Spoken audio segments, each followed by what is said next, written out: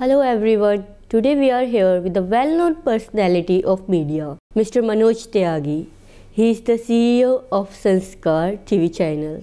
So so, sir आपकी journey कहाँ से शुरू हुई कैसे आप यहाँ तक पहुँचे क्या इंस्पिरेशंस रही जर्नी अगर मैं कहूँ मेरी जो शुरू हुई तो मेरी जर्नी शादियों में लाइट पकड़ने से शुरू हुई और मैं शादी के अंदर जो एक्सपीरियंस आपको मास के साथ काम करने में मिलता है ना तो मैं जो जितने हमारे फैमिली फ़ंक्शंस होते थे, उसमें वीडियो बनाने का काम किया करता था। वहाँ से कुछ अपॉर्चुनिटीज़ मिली कि मैंने कैमरा चलाना शुरू किया, कुछ संतों के साथ काम करना शुरू किया, उनके लिए वीडियो बनाता था। और उसके बाद मैं बम्बई गया बम्बई मुझे कुछ अच्छे लोग मिले जिसमें राजेश अडवाणी जी और बाबा सत्यनारायण मौर्य दो नेम नाम हैं जो कि जी टी में कार्यरत थे उनके साथ मुझे आ, मुझे अपॉर्चुनिटी भी दी जी टी ने कि वहाँ दो प्रोग्राम आते थे भक्ति भाव और जागरण। उनके अंदर मैं उनको सॉफ्टवेयर बना बना के देने लगा। वहाँ से जर्नी शुरू हुई संतों के साथ आशीर्वाद मिला जुड़ाव हुआ। उसके बाद 2000 में डिवोशनल चैनल आ गए, आस्था संस्कार। मैं 2003 के करीब में जी के बाद मैं आस्था टीवी के साथ जुड़ गया। और आज तक जुड़ा हूँ। चूँकि आस्था और संस्कार दोनों ही चैनल परम श्रद्धे स्वामी रामदेव जी के पावन सानिध्य में और आचार्य बालकृष्ण जी के सानिध्य में चलते हैं। वहाँ 2003 से जर्नी शुरू हुई। वहाँ पर स्वामी जी के साथ काम करने का मौका मिला। आस्था के साथ हम काम करते रहे। 2015 में आ, संस्कार को पतंजलि ग्रुप के साथ जुड़ा संस्कार वापस। और मुझे आस्था से संस्कार में भेज दिया गया। तो मैं अपने साथियों के साथ आस्था में काम कर ही रहा था। तो मुझे यहाँ पर इंडिपेंडेंट कार्यभार देखने के लिए भेज दिया गया और तब से जनरी चल रही है और संत महात्माओं का आशीर्वाद मिल रहा है। मैं ये मानता हूँ कि संतों का आशीर्वाद भी मिल रहा है और अगर हम ये कह सोचे कि हम जितनी मेहनत करते हैं, उस रूप में कुछ दक्षिणा या वेतन मिलना चाहिए, वो भी मिल रहा है। तो दोनों काम हो रहे हैं। घर भी चल रहा है और हरिनाम संकीर्तन भी चल रहा है। सो so, आजकल सर जन यंग जनरेशन जो है वो जनरली जैसे कि आपके डिवोशनल और स्पिरिचुअल से थोड़ा हटके है। तो आप ऐसा क्या कर रहे हैं चैनल में कि यंग जनरेशन भी इसका पार्ट बन सके? मैं थोड़ा सहमत नहीं हूँ आपके बात से।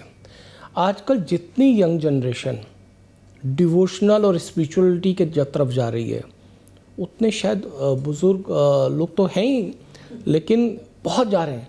हम एक तरफ़ का इंडिया देखते हैं, हम दूसरी तरफ़ का नहीं देखते। चूँकि मैं संतों के साथ रहता हूँ, मैं बहुत सारे बहुत बड़ी ऑर्गेनाइजेशंस के साथ में जुड़ाव है मेरा।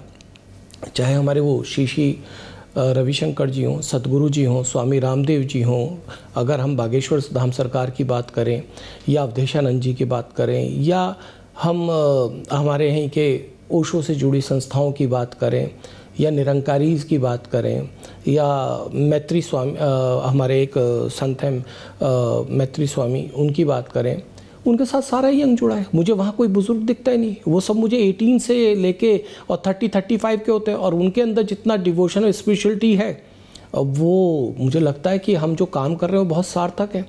और वो लोग जो मैसेज दे रहे हैं यूथ के साथ जो काम कर रहे हैं यूथ मिल उनके साथ जो काम कर रहा है तो कहीं ना ये एक पिक्चर बना दी गई है कि यूथ नहीं देख, जो धर्म में जुड़ता। आपसे ही बात करूँगा क्या आपके परिवार के लोग कभी आपको मंदिर नहीं लेके गए? लेके गए हैं ना? आपको संतों के दर्शन नहीं कराए तो ऐसा नहीं है, नहीं। हाँ ये ज़रूर कह सकते हैं ओटीटी का ज़माना है, लोग उसकी तरफ़ भी देखते हैं, लेकिन ये कहना कि डिवोशंस चैनल को नहीं देखते या उनको नहीं देखते, ये गलत फहमी है। बहुत लोग देखते हैं। सर बट जो half of them like half of half them जो नहीं देखते उनके लिए आप क्या मैसेज देना चाहेंगे कि मुझे ये लगता है कि आपका जो सवाल है कि हम उनके लिए क्या कर रहे हैं जो कि ओटीटी नहीं मतलब हमारे चैनल को नहीं देख रहे हैं। मैं मानता नहीं हूँ कि हमारे चैनल को कोई नहीं देखता। हमारे चैनल को सब लोग देखते हैं। छोटे से बच्चे से लेकर और बड़ा आदमी सब देखते हैं। चूँकि हमारे चैनल के अंदर ना अपने संस्कारों से जुड़े रहने के लिए और अपने मोरल वैल्यूज़ और कल्चर को जुड़े होने की बात करते हैं संत महात्मा। हमें कैसे परिवारों में रहना चाहिए किस तरीके से अपनी जीवन को चलाना चाहिए उसकी वैल्यूज़ मिलती हैं। तो ऐसा तो है ही नहीं नहीं देखते हैं। लेकिन फिर भी कहें आपने जो मेरे से पर्सनली सवाल किया है हम आ, बहुत सारे आज की चीज़ों को देखते हुए आज के म्यूज़िक को देखते हुए डिवोशनल चैनल उस तरीके के म्यूज़िक बनाता है। आप शायद अनप्लग बोलते हैं ना शायद अनप्लग होता है अनप्लग अनप्लग खाली आपके मूवीज़ में या किसी प्राइवेट एल्बम में नहीं है अनप्लग आजकल डिवोशनल सॉन्ग्स में भी बन रहे हैं। हम बना रहे हैं। हम लोग बहुत सारे यंगस्टर्स बच्चों के साथ काम कर रहे हैं जो कि आके हम लोगों को एडवाइस करते हैं कि आपको ये करना चाहिए हम वो भी कर रहे हैं। हम बहुत सारे ट्रैवल शूज़ कर रहे हैं। हम ये दिखाना चाह रहे हैं कि स्पिरिचुअल ट्रैवल किस तरीके से प्रमोट हो तो हम उसके लिए भी काम कर रहे हैं। आपको भी घूमने का शौक़ होगा, सबको घूमने का शौक़ होता है। तो ज़रूरी नहीं है कि कोई ऐसी जगह हो कि मालदीव सी जाना है। ऐसी जगह भी हैं जो, जहाँ पर बहुत सुंदर हमारे दृश्य हैं। आप उत्तराखंड के चले जाइए, आप अगर हिमाचल चले जाइए या आप साउथ में चले जाइए, बहुत सुंदर सुंदर जगह है, जहाँ पर आपको स्पिरिचुअलिटी भी मिल रही है और घूमना भी मिल रहा है। तो हम उन सारे शोज़ को कर रहे हैं। सर आपकी जब ये जर्नी रही यहाँ पे तो कोई चैलेंजेस थे जो आपने ओवरकम किए इस टाइम पे? चैलेंजेस थे नहीं है। Okay. जो डिवोशनल चैनल्स हैं ना उसमें हम लोगों को जो चैलेंज आता है एक तो सपोर्ट कम मिलती है थोड़ी सी एडवर्टाइजर्स से। जो कि हम मेहनत करते हैं ऐसा नहीं है। बहुत सारे ऐसे कॉरपोरेट हाउसेज हैं जो कि मदद करते हैं जो एड्स देते हैं। और बहुत सारे लोगों को ऐसा मानना है, उनकी विचारधारा होगी कि डिवोशनल चैनल्स को कुछ वो लोग देखते हैं जिनकी डिसीज़न पावर नहीं है। लेकिन मैं ये मानता हूँ कि decision power after thirty five और फोर्टी ही आती है। उससे पहले डिसीज़न पावर इतनी ज़्यादा ज़बरदस्त नहीं है, आती है। लेकिन अगर डिसीज़न पावर लेनी है या फिर जिनके बच्चे हैं, वो भी अगर डिसीज़न लेते हैं, वो थर्टी थर्टी फाइव के बाद लेते हैं। सबकी शादियाँ हो चुकी हैं, कहीं ना कहीं धर्म से जुड़ जाते हैं। तो हमारे चैनल की अगर आज टीआरपी भी अगर आप देखोगे, चाहे आस्था हो, चाहे संस्कार हो, या बाकी चैनल्स हैं, बाकी चैनलों के मुकाबले आप देखोगे, दे, बहुत बड़ा जोनर है जो कि हमारे धार्मिक चैनलों को देता है। तो मैं तो यही कहूँगा कि ये चैलेंजेस हैं कि हमको थोड़ा एडवर्टाइजमेंट कम मिलता है, और कॉरपोरेट हाउसेस को कहूँगा कि ज़्यादा से ज़्यादा ऐड सभी धार्मिक चैनल को करना चाहिए। इस जर्नी में आपका कोई ऐसा फेवरेट मूवमेंट जो आप सबके साथ शेयर करना चाहते हो? इस जर्नी का सबसे फेवरेट मूवमेंट यही है कि मुझे संतों का सानिध्य मिला। डिवोशनल फ़ील्ड में आने से पहले मैं इवेंट्स बिज़नेस करता था।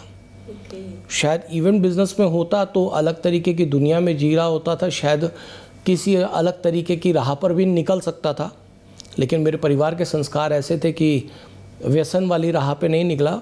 संतों वाली राह पर निकल गया। तो जीवन का इससे बढ़िया मूवमेंट क्या हो सकता है कि संतों की सेवा मिल गई? सर डिवोशन का मतलब क्या है आपके लिए?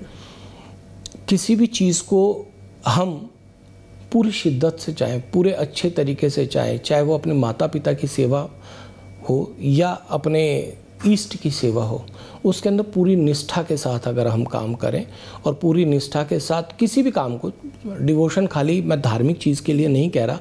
आपका काम भी आप मेरे से इंटरव्यू कर रही हैं आप पूरी निष्ठा के साथ काम कर रही हैं अपने डिवोशन के साथ काम कर रही हैं तो वही डिवोशन मेरी उसमें। तो कोई भी काम करो पूरी निष्ठा पूरी ईमानदारी पूरी मेहनत और पूरी लगन से करो मेरा ये मानना है। सर सर अभी 2023 में हम लोग कुछ न्यू चेंजेस देख पाएँगे क्या? संस्कार टीवी चैनल में या बिल्कुल आप देख पाएँगे जैसे बहुत सारे ओ टी प्लेटफॉर्म्स आ रहे हैं हम्म। उसी तरीके से हम लोग भी चेंज हो रहे हैं और हमने सैटेलाइट के साथ साथ अपनी ओ टी टी प्लेटफॉर्म संस्कार ने शुरू किया है, जिसके अंदर आपको लाइव टीवी मिलते हैं, क्योंकि आजकल स्मार्ट टीवी का ज़माना हो गया है। लोग थोड़े कनेक्शन अपने केबल के बंद करके आपने भी कटवा दिया होगा, शायद आप भी ओ टी टी देखती होंगी ज़्यादा। तो लोग आजकल स्मार्ट टीवी पे ज़्यादा रहने लग गए हैं या मोबाइल पे ज़्यादा रहने लग गए हैं। तो संस्कार ने अपनी एक मोबाइल ऐप एंड्रॉयड पे भी और एप्पल पे भी और अभी हमारा एंड्रॉयड टीवी के ऊपर भी फायर स्टिक पे भी अपनी पूरी एक ओटीटी टाइप ऐप लॉन्च कर दी है, जिसमें हमारे सात आठ चैनल आपको लाइव देखने को मिलते हैं। प्लस जो अच्छे अच्छे संतों के कंटेंट हैं, जो भी कुछ भागवत कथा है, राम कथा है या डिस्कोर्सेज हैं, या आप मान के चलें कि कुछ हमारे बनाए हुए प्रोग्राम्स हैं या फिर ऐसा क्यों करके है? क्योंकि क्यूरसिटी होती है कि भाई तिलक ही क्यों लगाते हैं? मंदिर ही क्यों जाते हैं? घंटी क्यों बजाते हैं? भगवान जी क्यों हैं? भाई पैर में बिछुए क्यों पहनते हैं? हमारे मोरल वैल्यूज़ के ऊपर आजकल बच्चे बड़े क्वेश्चन उठाते हैं।